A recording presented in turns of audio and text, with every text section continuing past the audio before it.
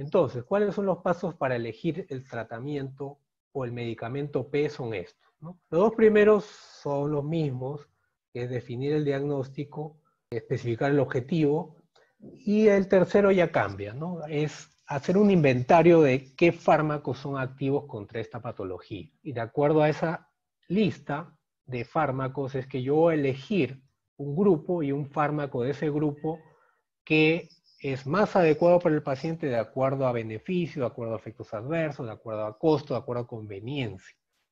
No es de acuerdo a lo que me dijo el, el visitador médico, no es lo que leí que se aplica en un tal hospital, o no es que el residente aplica esto. Y, no, es de acuerdo a evidencia científica. Y esto está del capítulo 4 de la guía. Este es un resumen ¿no? del caso. Faringomelitis bacteriana, pues te tocó copiógenes. Segundo paso es especificar el objetivo terapéutico, que son para antibiótico, ojo, acá solamente es para antibiótico, acortar el curso de la enfermedad, erradicar el germen, evitar contagio y prevenir complicaciones.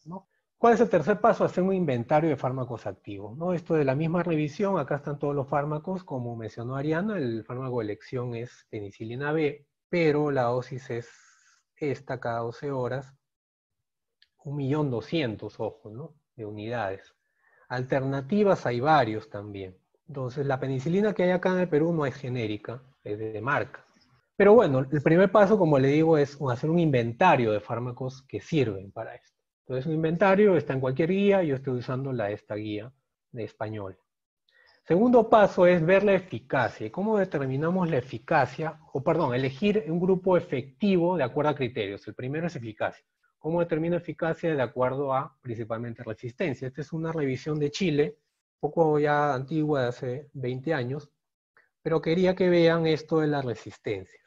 La resistencia a penicilina era ausente, a cefalotina también, a banco de hecho, a clina ya aparecía, pero miren a los macrólidos, a citro, eritro, claritro ya estaba apareciendo hace 20 años, por lo menos en Chile, Y acá se ve un resumen también, ¿no? De las cepas en estos tres años que se estudiaron. Todas las cepas estudiadas y la resistencia cómo fue aumentando en los años, ¿no? De 2% a más del 10%.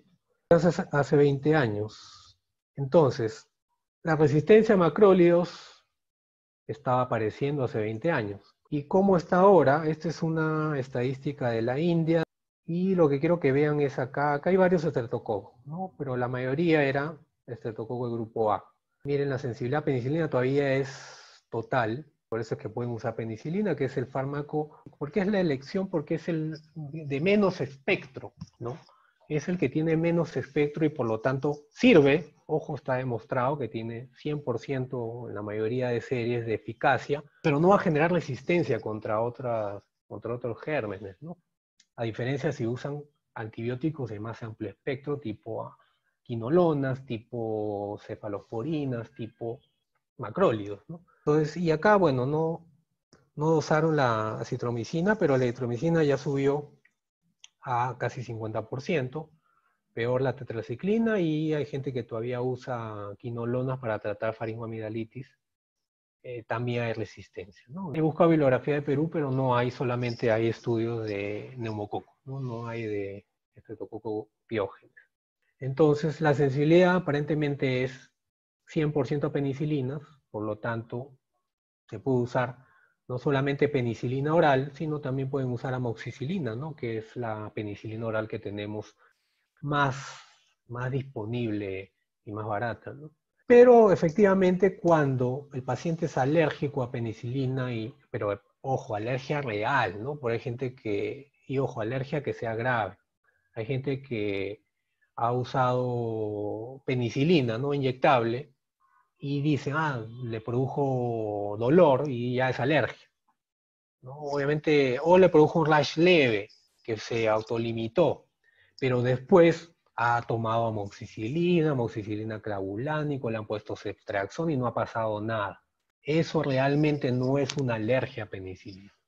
Entonces, ustedes no, cuando hacen la historia no deben quedarse solamente alergia a un medicamento, sí, penicilina, punto. No, tienen que ser más, más, este, yo siempre digo que, que nosotros somos un poco algo de detectives o investigadores, ¿no? Mientras más preguntas hagamos es mejor. es mejor porque vamos a resolver todas las dudas que tengamos sobre nuestros pacientes.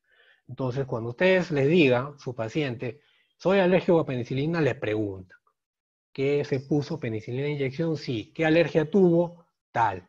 Si obviamente tuvo angioedema, sí, eso no hay mucha discusión de que era es alérgico a la penicilina, y desde ahí lo más probable es que nadie se haya atrevido a darle amoxicilina siquiera. Pero si simplemente era un rash, y peor, ustedes hacen una repregunta y dicen, ¿ha tomado alguna vez amoxicilina, amoxiclavulánico, etcétera? Eh, y le dice que sí, y no ha pasado nada, eh, es poco probable que sea, que sea alérgico a penicilina.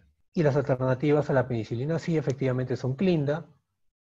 Mm, yo no usaría quinolona, menos en el Perú, por posibilidad de estar por ahí enmascarando una tuberculosis, etc. Y acitro también pueden usar, ¿no? Pero con cuidado, ¿por qué? Por lo que le voy a mostrar un poco más adelante. Esto es una revisión en 2007 de Canadá. Analizaron más de 100 estreptococos grupo A y encontraron resistencia alta a eritromicina y a clinda. Y en Japón, en el 2013, también, ¿no? Una resistencia a macrólidos 34%. Lo más probable, obviamente, es por uso indiscriminado de, acitromicina o claritromicina. Como les digo, no he encontrado estudios acá en el Perú, no les puedo afirmar, pero hay que tener cuidado con el uso de acitromicina.